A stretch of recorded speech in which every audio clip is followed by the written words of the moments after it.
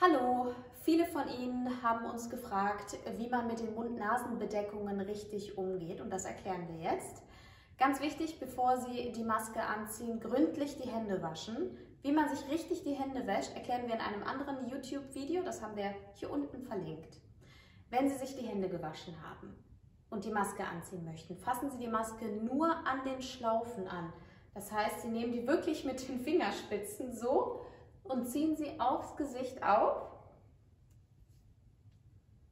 und können sie dann zurechtrücken, hier einmal fest andrücken.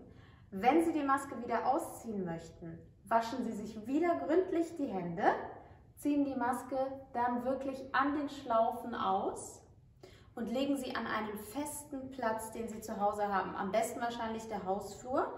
Ich schlage vor, ein Schuhkarton zum Beispiel. Den kann man im Hausflur hinstellen. Jedes Familienmitglied einen eigenen Schuhkarton.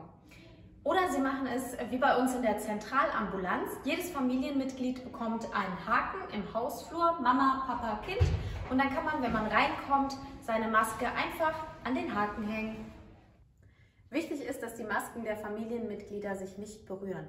Wenn Sie die Maske für unterwegs mitnehmen möchten, Packen Sie die zum Beispiel in eine Papiertüte oder eine Butterbrottüte.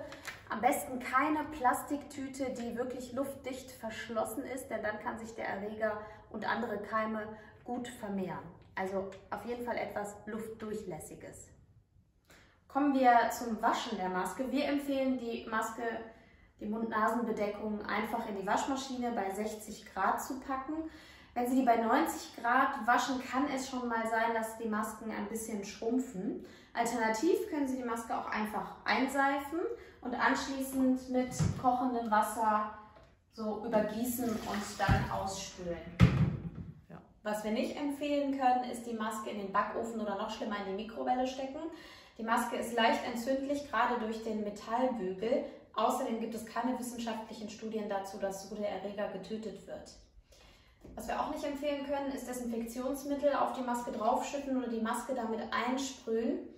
Das kann für den Träger giftig sein. Außerdem kann das auch Allergien im Gesicht hervorrufen. Und es bringt auch nichts, die Maske in den Kühlschrank oder ins Gefrierfach zu stecken. Das Coronavirus mag es nämlich gerne kalt. Ansonsten einfach immer dran denken, wer eine Maske trägt, schützt andere.